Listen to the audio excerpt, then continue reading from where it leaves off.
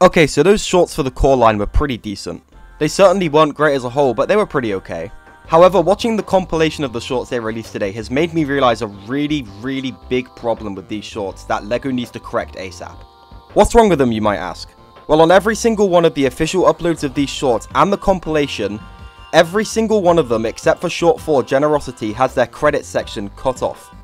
This creates problems such as Andrew Francis not being credited for his first appearance as Cole, or across all of the shorts, Paul Dobson, Wu's voice actor, Vincent Tong, Kai's voice actor, Kelly Metzger, Nya's voice actor, and Sam Vincent, Lloyd's voice actor, all go entirely uncredited. The only times the voice actors in these shorts got credit for their work was in Generosity, where I can only assume that they accidentally left the credits in.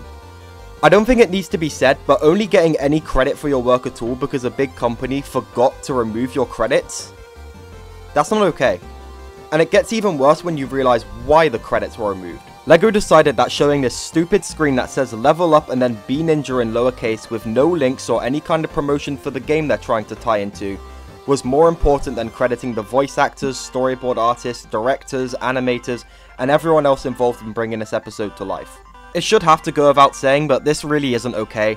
In my opinion, LEGO should go through the uploads of these shorts, delete them, and then re-upload them with the credits.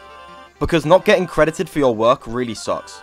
Thankfully, with the nature of being uploaded to YouTube, this is a very easy fix and I hope LEGO fixes this.